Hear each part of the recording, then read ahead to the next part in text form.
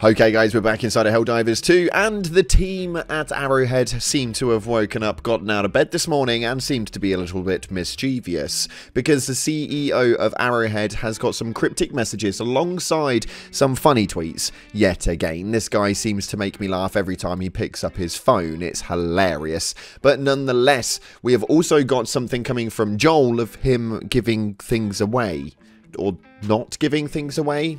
Don't worry, you'll know what I mean in a moment, but you guys are going to be the judgment call on that one. Anywho, anyway, let's get into the video. If you haven't already, smash that beautiful blue thumbs up and subscribe with post notifications turned on. It'd be greatly appreciated. On top of that, check out our sponsor, Advanced GG, the number one clinically proven energy supplement on the market. My favorite flavor is cherry vanilla, but you guys can catch an array of flavors via the link in the description. Use code CLOUD at checkout for a cheeky discount. And with that being said, let's take a look at what's going on inside of Helldivers. So, we had a cryptic message coming from the CEO of Arrowhead, which sprung off onto so much stuff, it's absolutely insane. But the original tweet actually stated Strategic meeting with Democratic Council. We have decided that Super Earth and its citizens need more officially regulated and mandated freedom. What on earth does that mean? Now, I have no idea where this is coming from, but essentially what we're seeing was that from the end of the major order, there was actually a point where we failed it, and then there was a post stating that procreation was now obviously on hold for certain planets. And this was a little bit of a weird one to say the least, but I'm presuming it's got something to do with the major order that's due to be coming up as we are close to finishing this one this weekend. I'm a little bit excited to see where this one goes, but this tweet just sprung off into whole different realms. You guys have got no idea. Somebody posted up a tweet stating, need this democratic weapon, and it was obviously a minigun. This obviously is not real, as I know of. It's not being kind of like data mined out of anything, but it is a very good image all the same. And if it is real, well, then I'm really sorry. We've just shown you guys a minigun that may actually exist. Nonetheless, this thing connects up to a backpack via a rail point and uh, looks pretty damn cool. Now, the CEO actually stated for this, Gatling guns as support weapons are cool, but only if they accurately represent the insane recoil. We may, but it will require some real cool mechanics. Now, this was really interesting because what he's essentially saying is that he's going to be working on new weaponry on support weapons, and this could potentially be something that they may end up doing in the future. Now, somebody actually responded to that stating you could add a deployable tripod that means to kill recoil. You kill your own own ability to move, 3 second deploy time, 3 seconds packet up time, and if you are in undeployed mode, recoil should be savage unless a second player is helping you keep it stable, holding a second rail. Now, this is where the CEO actually stated in a tweet, this was the idea for the HMG, also known as the heavy machine gun, and then followed up that tweet straight away with, never mind, there's no such thing as a heavy machine gun. So this guy just literally tries so hard to play around with the community, it is absolutely hilarious, although has pretty much solidified that the heavy machine gun is due to be coming quite soon. We saw this with the flying bugs bugs don't fly. Remember that. That's all I'm going to say. The heavy machine gun should be here very soon. Now, somebody else commented on this thread and stated insane recoil runs out of ammo in 15 seconds. And then the CEO came up with a really cool idea stating, yeah, or teammate carries the drum, something cool. Now, this would obviously entail a backpack mechanic, a bit like the ammunition mechanics, where we have the rifle and they just kind of like load it up via a backpack. I don't like the concept. I understand it and I kind of get where it's coming from, but it's just not for me. If you guys do enjoy this, let me know via the comment section below, but like it's just not something that I really enjoy doing. Now, based on the original tweet, we had a good friend Higgs actually comment on that, stating liberate to procreate, and the CEO stated too much freedom for now. So overall, Twitter's been absolutely on fire just recently. The CEO has kind of dropped dropped a few hints that some things are definitely true and or coming, and has also given us a cryptic message which makes no sense to me at all. Now, I have seen it going up on Reddit, although haven't yet seen a valid enough response to it yet as to what it could potentially mean. So make sure you get into the comment section and give me your guys' ideas of what this could potentially be.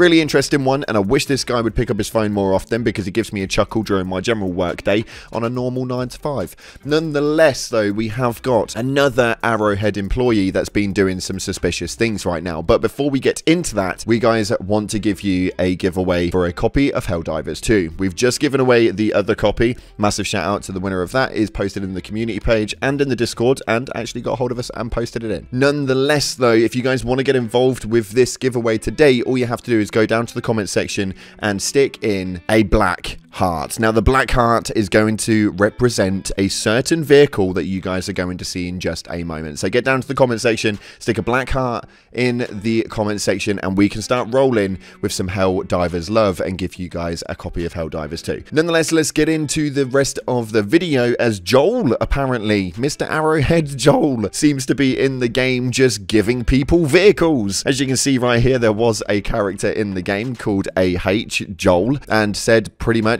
here's a truck, take this, I need to go back to work. Dropped a truck and then left. Uh, now, this may not have been Joel, and I do not think that it was, although, for the sake of the roleplay service, I would love to think that this is Joel just doing a bit of leaking inside of the community and doing things to help give community creators and stuff like that some content to work off of. Not only that, but it just generates 10 times the amount of hype of a normal post just posted up on Instagram or something. This is a great way of doing things, and if this was Joel, then massive shout out to him. I love that you are doing this. If it's not Joel, well, then some of you guys have got way too much time on your PCs to be able to dig into a file and find this truck, which not many people have actually seen yet. As far as I'm aware, this is the first official gameplay of it. People have seen 3D modelings, they've seen some images and stuff like that, but this is officially the first gameplay of this truck. Now, this thing is freaking ginormous. It looks absolutely insane, and it does look like a hell of a lot of fun.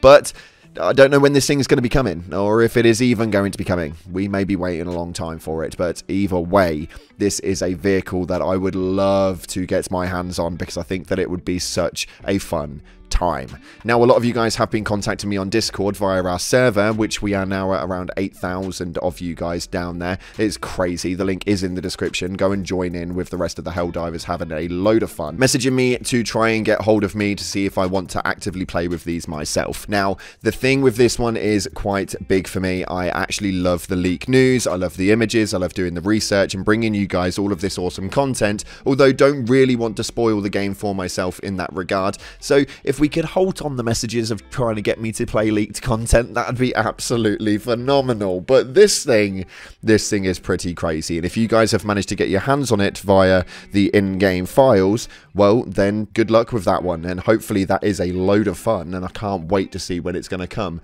At the moment, the only vehicle we've got is the mech, but there is also sort of like a Doom buggy Jeep thing with a minigun on the back. And now we've got this big tanky thing. It's going to get a little bit crazy. And by this time next year, I'm actually actually petrified to know where this war is at and how bigger it's got and what things we've actually got to use because I feel like it's going to get a little bit nutty over the next six months or so. Nonetheless though, that's unfortunately all we've got time for today. You will notice in the background gameplay, we're on Malevelon Creek and your boy is playing sneaky because Jesus, I do not like these robots. They are good fun, but it does make me play in a stealth format because I just can't take the missile snipers anymore. But we've got around 14, 15,000 over on Malevelon Creek right now, which has normally been at about 6,000. This week, we are hitting it as hard as we can. So if you guys could push that message along, it'd be absolutely great. Either share the video or get into the comment section and just post in there, it's Creek Week. That would be incredible. Anywho, that's all we've got time for today. Let's see if we can build those numbers up in Malevelon Creek and finally take it away from Joel's grasps. Thank you so much again for watching. Appreciate your faces. Like, subscribe, and as always, I'll see you in the clouds. Thank you.